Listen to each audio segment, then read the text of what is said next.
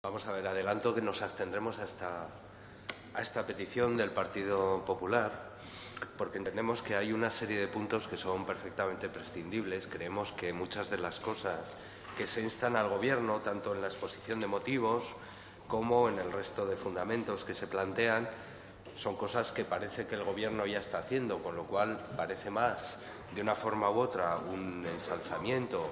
de lo que está haciendo el Gobierno que una serie de medidas proactivas cuando en la propia exposición del portavoz del, Partido Popular, al hablar de la petición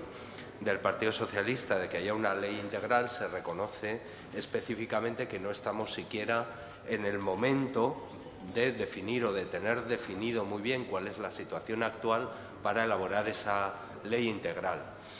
Eh, claro, me trae a la memoria un poco la reflexión que hacía el otro día el fiscal general del Estado, ya nombrado, en la Comisión de Justicia, que hablaba eh, sencillamente de que a él le gustaría eh, que en adelante cualquier medida que se tomara desde el ámbito penal tuviera por fin un estudio de criminalidad adecuado y una memoria de incidencia real de lo que la legislación tiene eh, como transformación de la realidad. ¿no? Y creemos que estamos en un momento muy anterior. Nada de esto pasa y, desde luego, lo que nosotros podemos, de alguna manera, rechazar es el uso exclusivo del Código Penal para combatir los delitos de odio.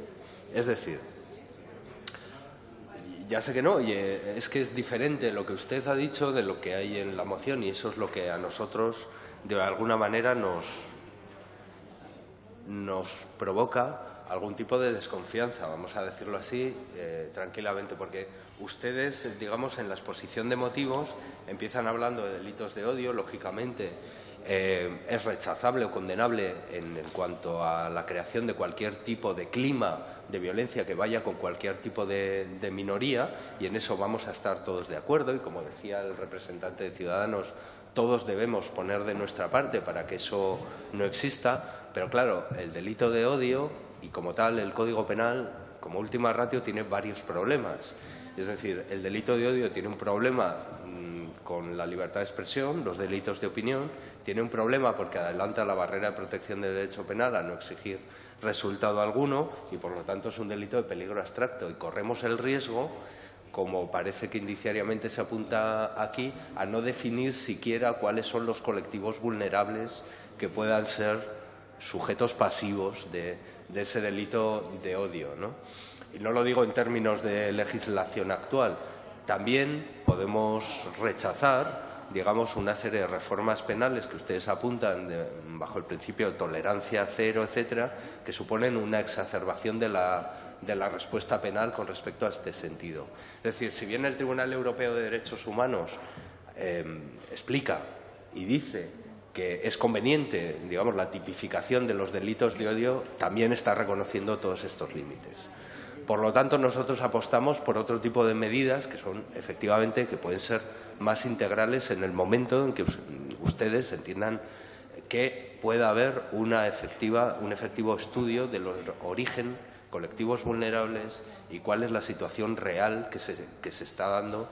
en estos momentos en la, en la sociedad. Y a partir de ahí podemos pensar en medidas. Lo que ocurre es que, claro, yo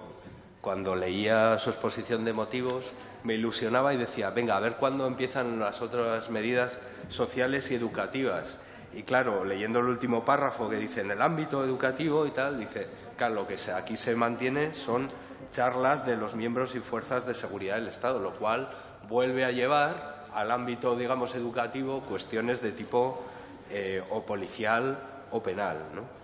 Por lo tanto, pues mire, no nos oponemos a que el Gobierno, si entiende que tiene que hacer todas estas medidas de hacer protocolos, continuar su implicación al más alto nivel, etcétera, lo haga.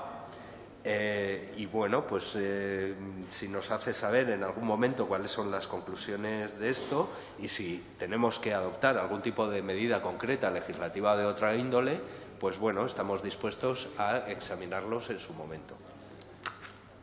Nada más, gracias. Gracias, señor Santos. Señor Martín Toledano, para aceptar o rechazar la enmienda. Como ya he anunciado, re...